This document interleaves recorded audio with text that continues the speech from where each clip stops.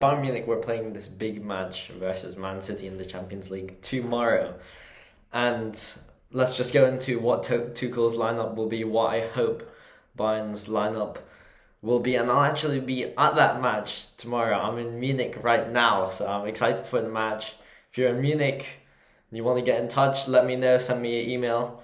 I'll leave my email in the comments below if anyone wants to get in touch. But let's get straight into my predicted lineup or my favorite lineup. So this Choupo-Moting wasn't ruled out by Tuchel in his press conference, so I expect he'll start up front. And if Choupo-Moting starts, it's got to be Muller in behind him in that number 10 role here. If if I see Musiala there and Choupo-Moting's playing, I will lose it because that is totally not correct.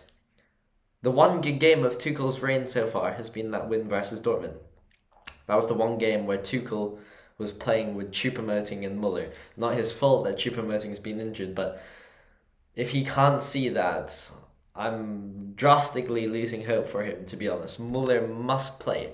And even if Choupo-Moting doesn't play tomorrow, my hot take is that Mathys Tel should play. No Serge Gnabry, no Muller up front, no Musiala.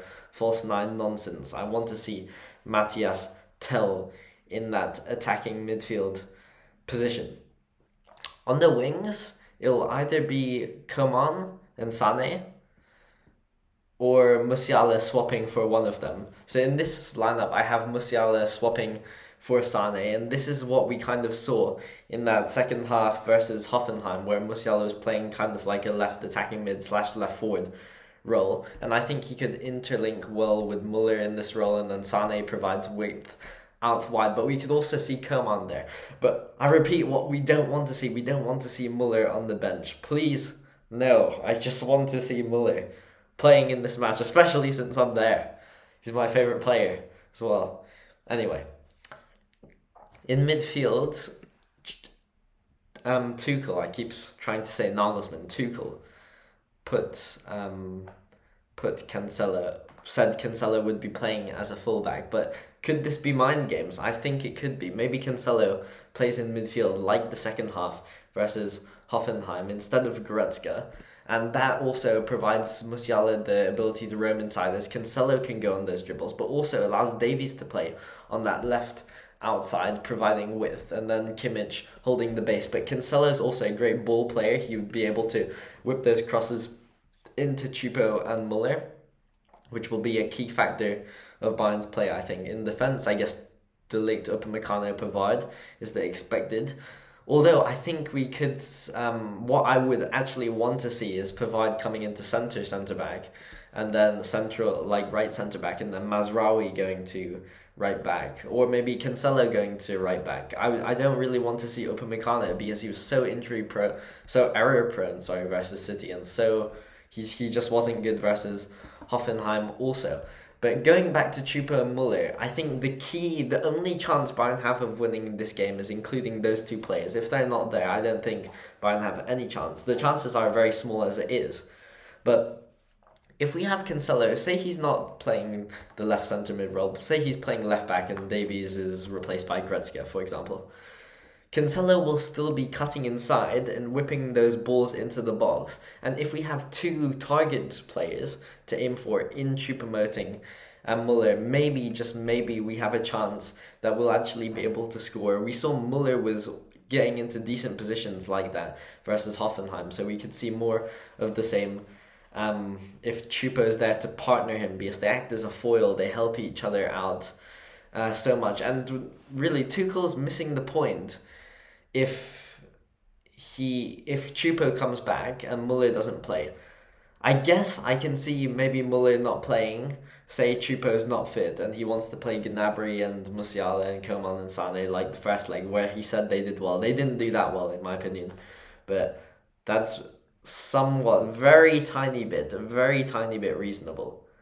But there's no reasonability, reasonability about not playing Muller if Choupo is fit. And as I said, if Choupo is not fit, play Mathys Tel because Tel, when he came on versus Hoffenheim, he's at least chesting the ball down. You whip it into him and he competes for it. Unlike five foot nine, five foot eight Gnabry. Tel Choupo-Moting they're big players, they're big physical presences, who really can receive the ball and really um, can play off the ball and then get others involved in play. To to be fair, it might be an open game, so maybe we should see Coman and Sané. But the problem is against this Man City team, we are playing.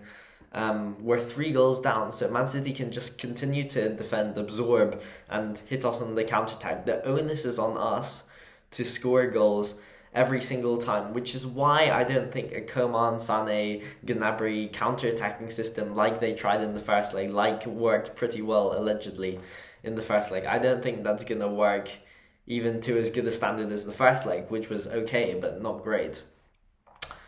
Simply put, we need crosses into the box. We need Muller, Choupo there. We need Cancelo to be on his A game. I think Cancelo needs to play for us to win, either in midfield or in defence, because in defence, Davies is not going to have that space this game to run in behind and stuff. It'll be Cancelo whipping those balls in, which may be one of our biggest attacking catalyst triggers to score goals. In in short, we need everyone on their game though. We need Sommer on his game. We need the defense to be on their game. Basically, if we concede, the tie is done. We are finished.